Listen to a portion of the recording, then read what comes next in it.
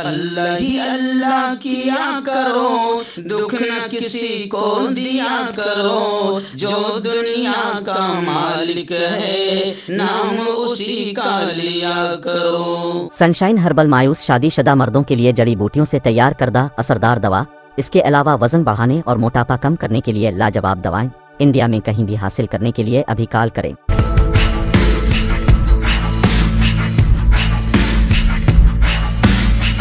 अखबार में पढ़ा, हरियाणा के अंदर एक भारतीय जनता पार्टी का ही एक एमएलए था। उसने कहा, आज मैं पार्क के अंदर इसकी फ्री स्क्रीनिंग करूँगा। तुरंत विवेक अग्निहोत्री का ट्वीट आया खट्टर साहब के। खट्टर साहब, देखो, ये फ्री में कर रहा है, इसको बोलो टिकट लेके करेगा। असलकम वरहमतुल्लाहि वबरकातुहू। नाजरीन, इस्तकबाल है। स्वागत है आपका viral news live studio Jalgaon, Maharashtra, India में। मैं आपका मेज़बान मुफ्ती मोहम्मद हारून नदवी। आइए प्राइम न्यूज़ में आज बात करते हैं कश्मीर फाइल्स को लेकर। जी हाँ वैसे तो मैं तकरीबन पाँच छः मरतबा इस पर बोल चुका हूँ और लगातार बोल रहा हूँ, लेकिन आज स्पेशल मैं आपको दिखा रहा हूँ कि कश्मीर फाइल्स पर अरविंद केजरीवाल ने बीजेपी की धज्जियाँ उड़ा दी। एक्चुअल में बीजेपी जलील हो रही है, रुस्वा हो रही है और अब सबको पता चल गया है कि ये कश्मीर फाइल्स का डायरेक्टर असल में कौन है। डायरेक्टर असल में अग्निहोत्री नहीं है, ना फाइनेंसर असल में कौन है, वो भी सबको समझ में आ गया कि फाइनेंस किसने किया डायरेक्टर कौन है, इशारा पर किसके इशारे पर ये काम हुआ है और क्यों हुआ है और क्यों ये घटिया और नीच हरकत की गई है। मुल्क में तबाही का रास्ता क्यों खोला गया है, इससे किसको फ़ायदा होगा? सारी पोल खुल गई है।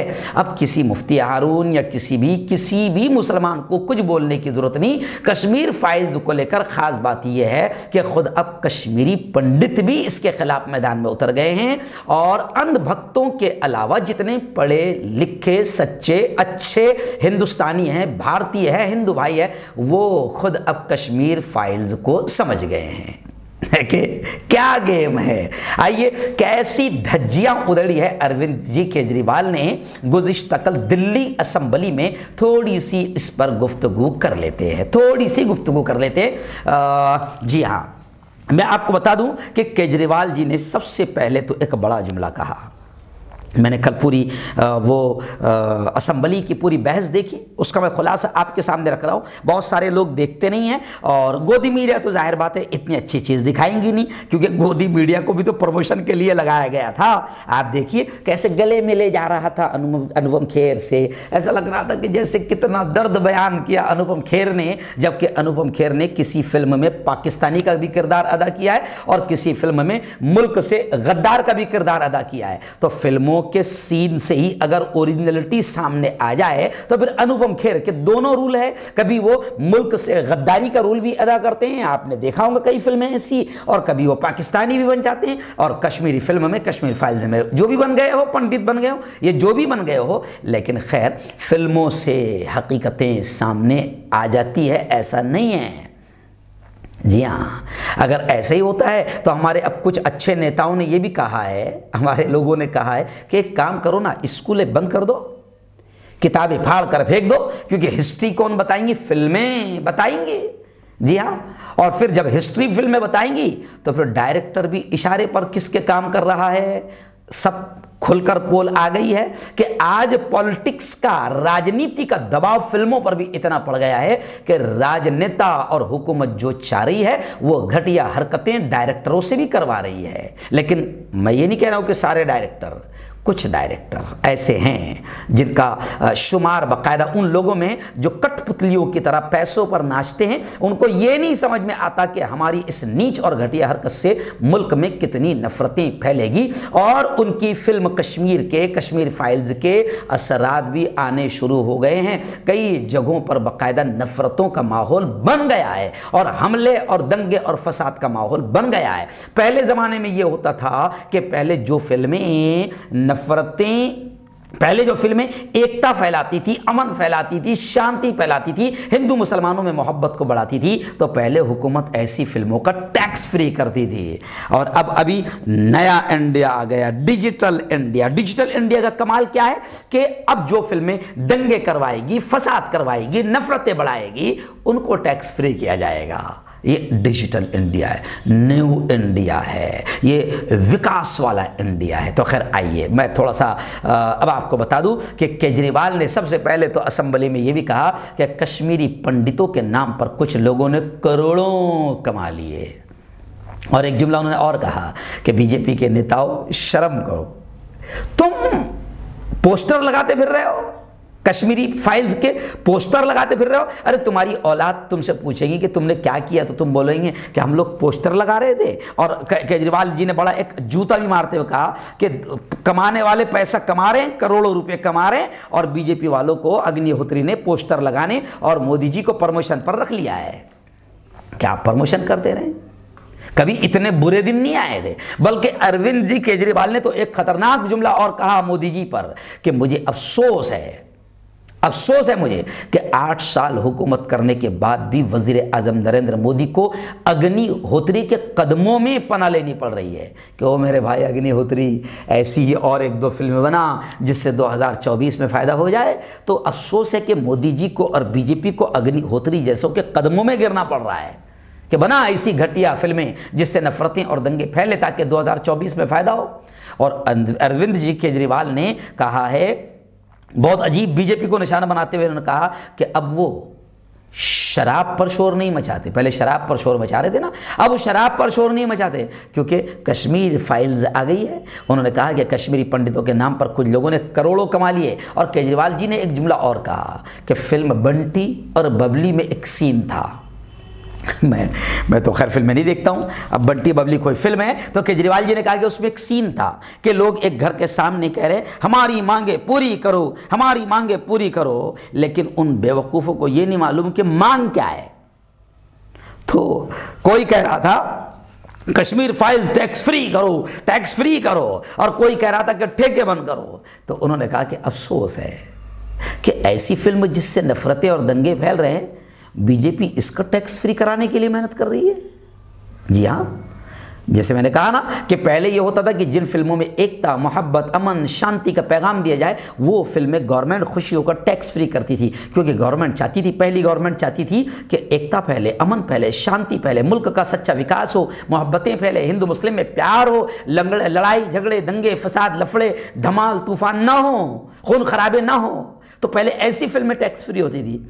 और अब न्यू इंडिया मोदी जी का इंडिया बीजेपी का इंडिया जी हाँ और राम, जय श्री राम का नारा लगाने वाला इंडिया अब उन फ़िल्मों को टैक्स फ्री कराने की बात कर रहा है, जिन फ़िल्मों से दंगे फसाद फैल रहे हैं। अफसोस है। घटिया और नीच हरकत है।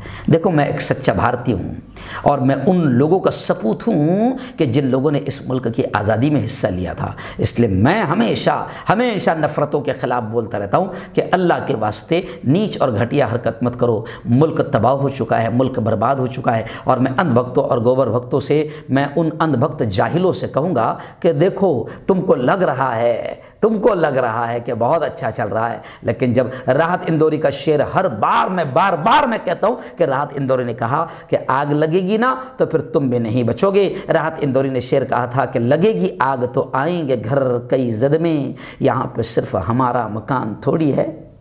जी हाँ और मैं हिंदू मुसलमानों से भी कहूँगा, और बल्कि मैंने तो रशिया और यूक्रेन पर भी कहा कि जंग मसलों का हल नहीं, लड़ाई झगड़ों का मसला लड़ाई झगड़े प्रॉब्लम्स का और समस्याओं का हल नहीं। तो प्लीज़ प्लीज़ अगर आप सच्चे भारतीय और सच्चे हिंदुस्तानी हो तो आप इस फ़िल्म को बैन करने के लिए आप आवाज़ उठाओ।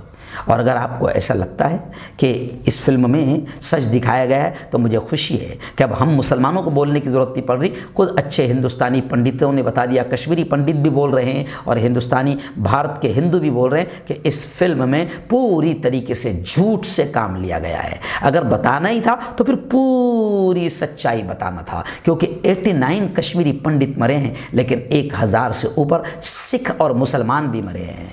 तो ये ये ये फ़िल्म जो है, आधी पूरी की, अगर पूरी झूठी कहा जाए तो गलत नहीं होगा। और अगर आपको इतना शौक है जालिमों को बताने का कि इन्होंने ये जुल्म किया, इन्होंने ये जुल्म किया तो फिर सच्चे भारतीयों, अगर आप चाहते हो तो फिर आप गुजरात फ़ाइल भी बनाओ।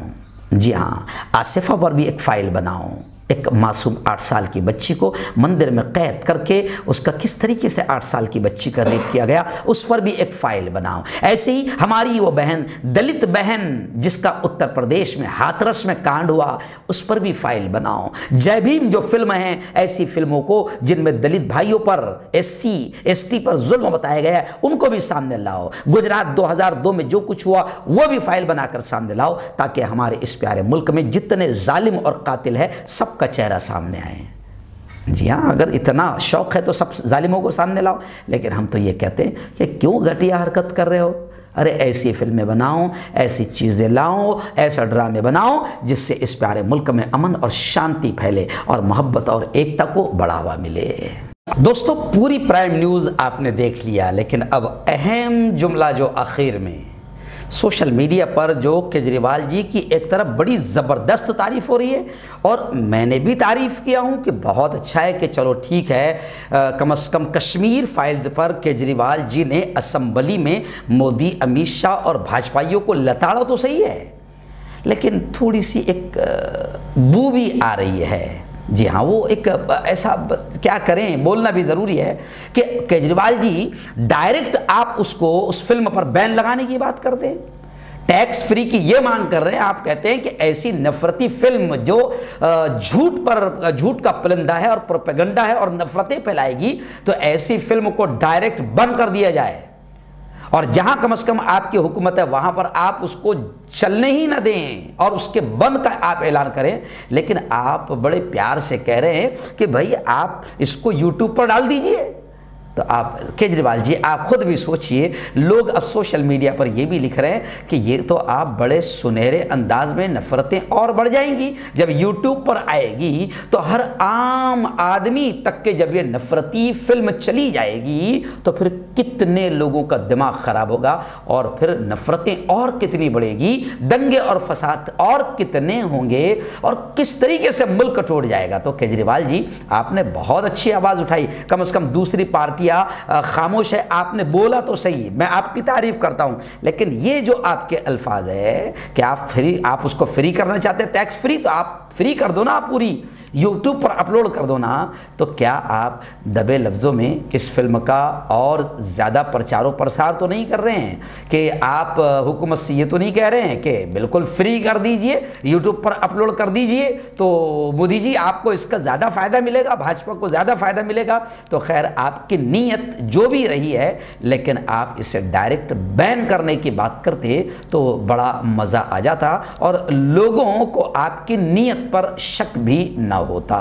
आठ साल केंद्र सरकार चलाने के बाद अगर किसी देश के प्रधानमंत्री को विवेक अग्निहोत्री के चरणों में शरण लेनी पड़े तो इसका मतलब उस प्रधानमंत्री ने आठ साल में कोई काम नहीं किया।